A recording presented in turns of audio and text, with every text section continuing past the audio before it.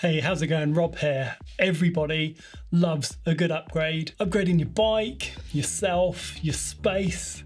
It can make you feel good. I've got a few things that I'd like to share with you today, starting with the new studio space. I've got my own studio.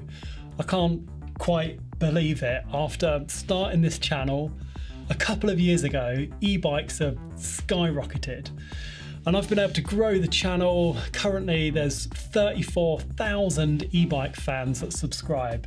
So thanks so much for coming along with me. So yeah, I finally moved out of my spare bedroom and got a proper space. It's a small room, but it's a lot bigger than my spare bedroom that I was in before in my house. It also means that I can have a proper space with a proper theme to it. Oh, by the way, what do you think of the look? I initially thought it looked a bit dark in here, but I've grown to kind of like it. It's like a chilled pirate ship kind of bike bar. I'll be doing loads in here, bike unboxing, live shows, I've got a space for my Park Tool bike stand just over there so I can do maintenance videos and how-tos and all that kind of stuff. So I'm super excited for the future of this channel. The new studio has been made possible by my Patreons and some of the companies that I've worked with on partnered videos. So a huge shout out to everyone that's been part of that. Oh, and I've also got some space for some extra camera angles so I can do some side profile shots like this one over here and some cool overhead shots. Speaking of overhead shots, it's a great way to take a closer look at some sweet new bike parts. Like these.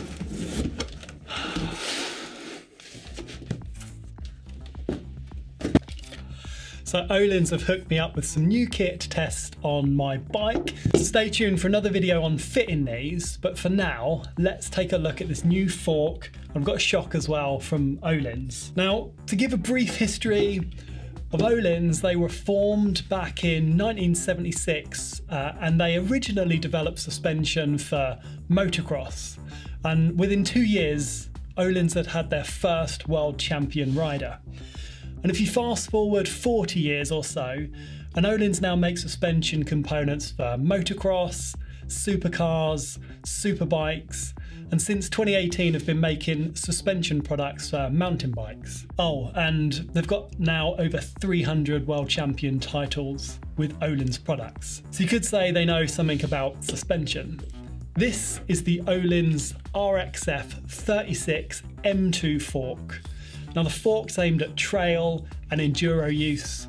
There's a choice of air sprung or coil spring and a wide range of travel sizes from 130 to 170 in coil and 150 to 180 in air, with both 27.5 variants and 29ers and different offsets as options. The fork I have here is the 160mm travel air version.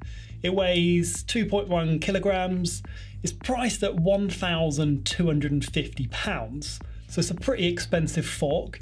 But hear me out because there's some cool features. It's got 36mm stanchions and a stiffer redesigned crown over the prior version, which I actually used on my 2018 Levo Expert. Stiff, more burly forks, they're perfect for use on e-bikes and this is e-bike rated. The chassis looks and feels strong, burly, and it's got that classic black and gold Öhlins look. And all of the adjusters like this adjuster here, everything's got like a really positive engagement and it just feels like a premium fork. It's got these nice blue SKF wiper seals that sit at the top to match the anodized blue low compression speed damping dial just at the top of the fork which has got 15 clicks of adjustment and underneath just here is the uh, black high speed compression adjuster that's got three settings and a climb mode for anyone that still uses that. I don't on an e-bike. So what about the damping of these? Well, it uses a reworked version of their TTX 18 dampening from their race fork, from the DH38 race fork. So TTX means it's got a twin tube architecture, and the 18 refers to the uh, main piston size inside. And Olin say that that 18mm piston has been optimized for trail use for better uh, small bump sensitivity. Now, most forks use uh, two chambers inside, one main chamber and a negative chamber. And a port between the two chambers allows the air to move between them. But these forks actually have a third chamber and it's called the ramp chamber. And in some forks, you'll adjust ramp up with tokens. So you'll add a little plastic token in that will reduce the air volume in the fork and it will give a greater ramp up at the end of the stroke. This can be useful to keep the fork from bottoming out on bigger hits, but it can also have an effect on small bump compliance and also the initial stroke suppleness off the top due to you actually reducing the air volume in the fork. So instead, Öhlins control this progression with this third ramp up chamber. With this ramp up chamber, you can control more of the feel of the fork, not just the final part of the travel, and you can do that without sacrificing the initial stroke suppleness, as we're not changing the air volume in the main chamber.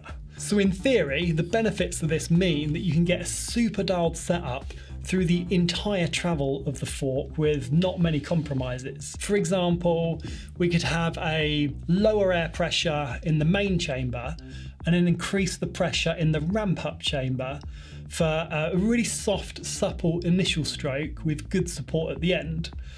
And there's actually a ton of tune-in possibilities with this kind of setup. And that's almost the holy grail of forks, isn't it? You want that really nice supple off the top to take that chatter and to give you a real nice comfortable ride, but it also to be able to ramp up at the end of the stroke to stop your fork bottoming out. So in theory, you can do that on this. I've not tested it yet, but I'm really looking forward to sticking it on the bike. Other points to note, it's actually really easy to change the travel and the spring. You need to purchase a new spring, but it can be just dropped in and out quite easily to change the travel. So this is a 160, I could quite easily change it to a 170.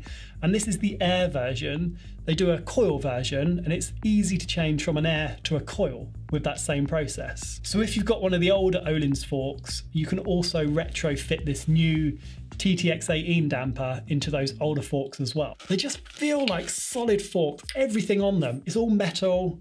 It just feels like a very, very well built fork as you would expect for um, a, a fork in this kind of price range. Low speed compression, high speed compression on here, air chamber, ramp up chamber.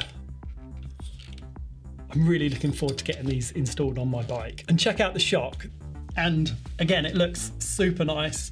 Build quality feels outstanding. It's got really positive feeling, high speed compression adjuster.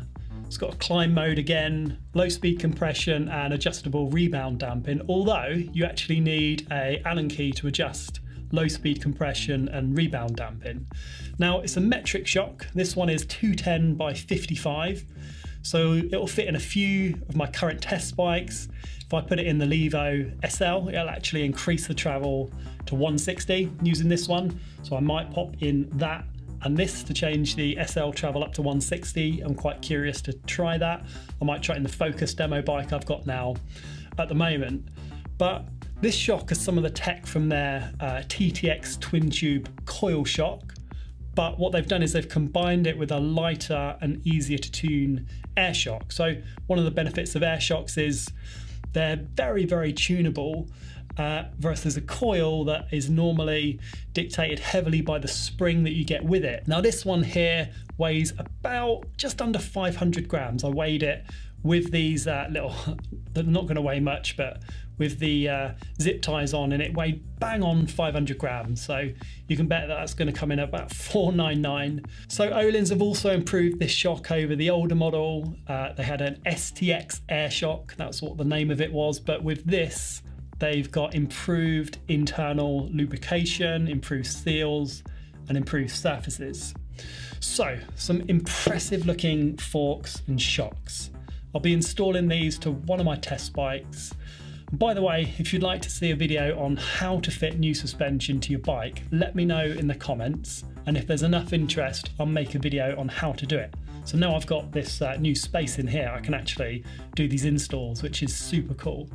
And that'll be relevant to almost all suspension systems, not just these Öhlins. All right, thanks for checking in. If you like this, let me know with a thumbs up and subscribe if you want to see more e-bike content, and I will see you next time. Take care.